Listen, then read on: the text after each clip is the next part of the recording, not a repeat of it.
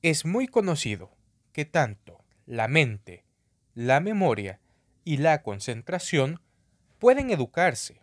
Y una manera de lograr esto es a través de ejercicios, ya que así como el cuerpo se mantiene y se amolda con ejercicios, la mente, la memoria y la concentración también pueden hacerlo.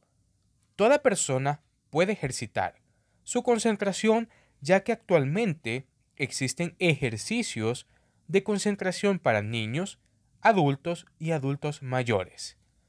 Los ejercicios de concentración y atención para adultos son diferentes a los que se aplican a los niños, ya que estos, al ser más sensibles y dispersos, son menos receptivos a cualquier tratamiento o aplicación mediante métodos o técnicas.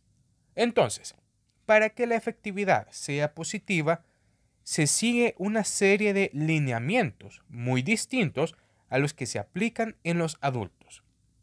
También se aplican ejercicios de concentración para adolescentes, ejercicios para ayudarlos en los estudios y en la vida cotidiana.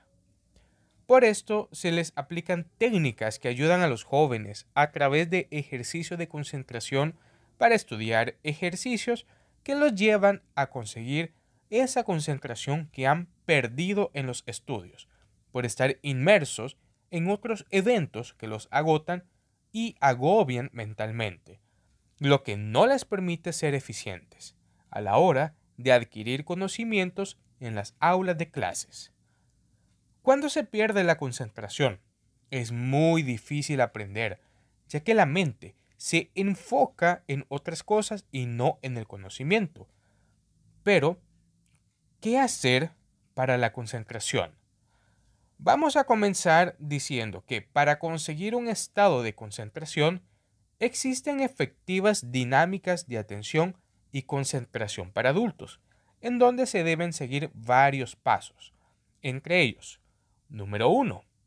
Ubicarse en un lugar tranquilo, libre de ruidos molestos y distracciones. Número 2. Trazarse una tarea diaria. No por más de 30 minutos para realizarla, pero ir incrementando el tiempo y las tareas a medida que se logra el aumento de la concentración. Número 3 Practicar la meditación ayuda al cerebro a concentrarse. Número 4. Leer y analizar lo leído. Es una buena técnica para poder ejercitarse. Número 5.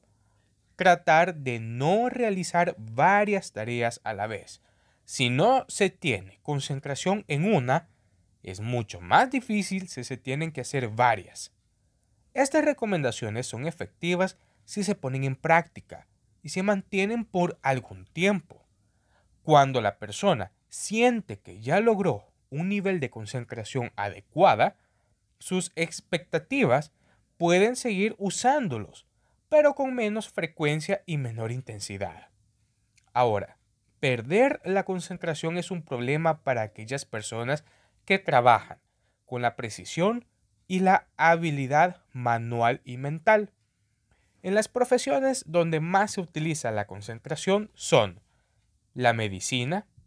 Los cirujanos deben estar concentrados al momento de realizar una operación. Los químicos, que experimentan para crear medicinas, deben estar concentrados para no cometer errores de cálculo. Esto se conoce como concentración química.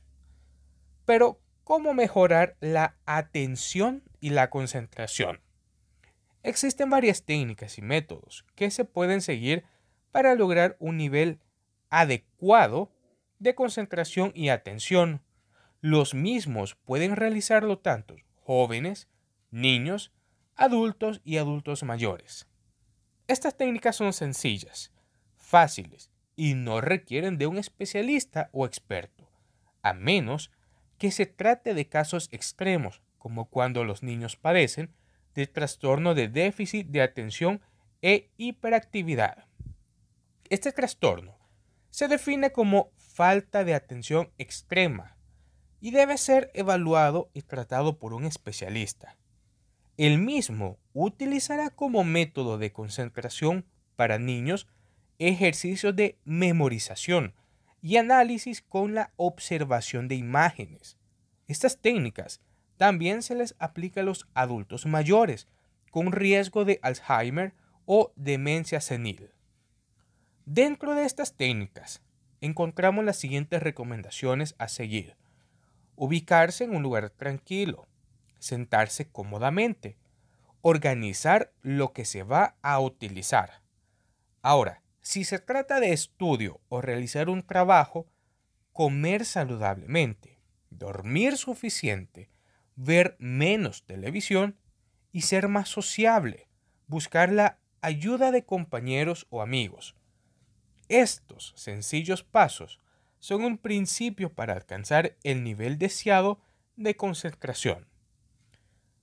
La concentración es algo así como una herramienta vital que se usa a lo largo de la vida de las personas, tanto en los estudios como en el campo laboral.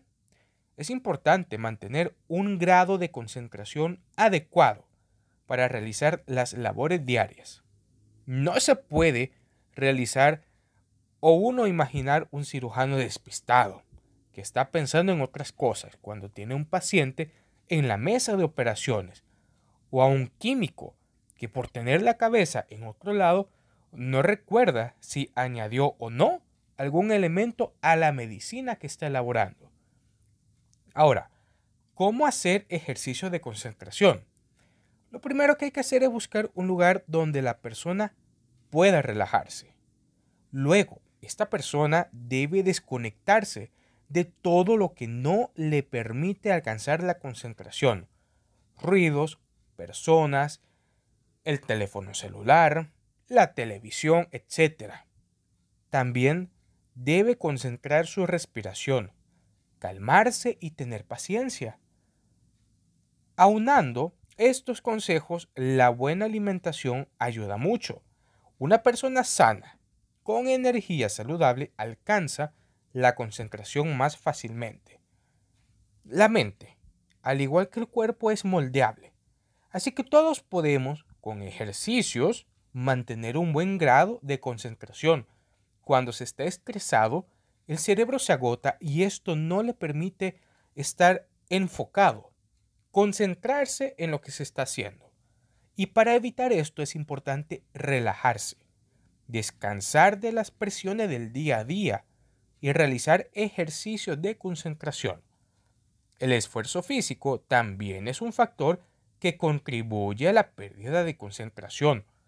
Cuando se está sometido a grandes jornadas de trabajo, la concentración se esfuma. Es importante ejercitar cuerpo y mente. Ya están conectados íntimamente. Si uno no funciona normalmente, el otro se verá afectado. Toda persona en algún momento pierde o tiene disminución de su capacidad de concentración.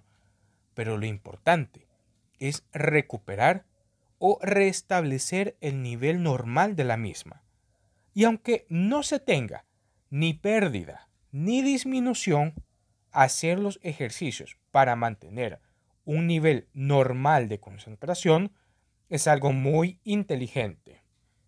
Pero ¿cómo podemos mejorar la mente? hay técnicas y ejercicios mentales muy eficaces. Hacer crucigramas. Dibujar también es un buen ejercicio. Memorizar números, cifras, fechas, nombres o relacionar lugares con fechas o imágenes. También ayuda el leer y analizar. Es un ejercicio excelente para la concentración, el aprender algo nuevo, cómo elaborar un nuevo platillo de comida, un idioma diferente al nativo, bordar, tejer, todo esto son actividades donde la concentración es esencial. Un método muy utilizado por los psicólogos en personas con tendencia a ser despistados o en ancianos es recorrer las habitaciones de su casa a oscuras, cepillarse los dientes y el cabello con la mano no dominante. O sea, si es zurdo, usar la derecha y si es diestro usar la izquierda. También buscar objetos a oscuras demanda estar concentrados para recordar dónde están ubicados.